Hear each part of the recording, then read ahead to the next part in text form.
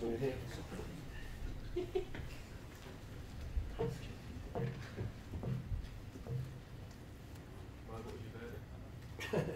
We lost to a better team. Um, obviously, it was going to become difficult if we conceded a second goal. Because at half time they scored early on, which is the last thing we really wanted. I thought we regrouped and kept ourselves in the game in the first half and worked hard to restrict the chances, although there were a couple of good ones that they didn't score from.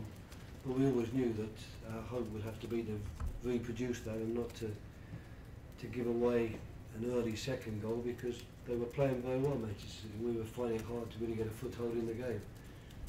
Worse than the second goal, we can see the second and third one very quickly. The second one in particular from a counter attack, where we were giving the ball away in midfield. And after that, of course, you're looking at 30 minutes left to play against a very confident and a, very skillful Manchester City team, and we've just got to try and keep going, which we did. To be fair, I can't criticise the players at all for that, but the bottom line today was that we, we came here with dreams and hopes of being able to dent Man City and put a put some sort of a blemish on their home record, but we weren't able to do so. They were the better team and they won they won deservedly and they won convincingly.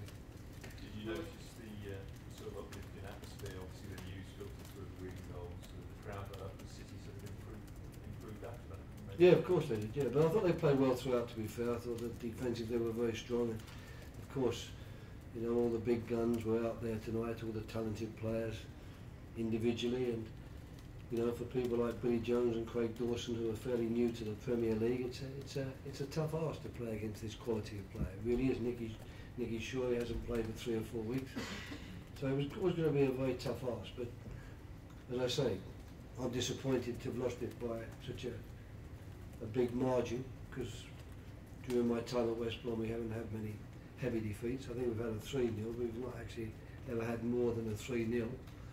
So that's a that's a major disappointment, I guess, or a major blow to my pride uh, and the team's pride. But the bottom line is that tonight, unfortunately, we didn't have the wherewithal to really hurt Manchester City, and they had plenty in their armoury to hurt us. Well, you made a few changes today. Was that due to fatigue or did you have injury problems?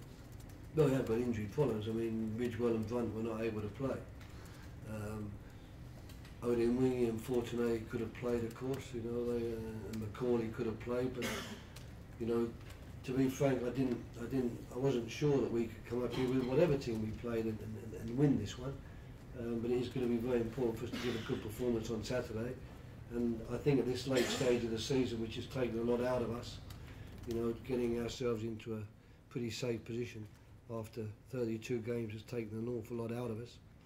And uh, I was very concerned that we wouldn't be able to do it with the same team for three games. We had to had to use the contingent, as it were. Did you see enough evidence from that that the title might be up for grabs it's five points in five games?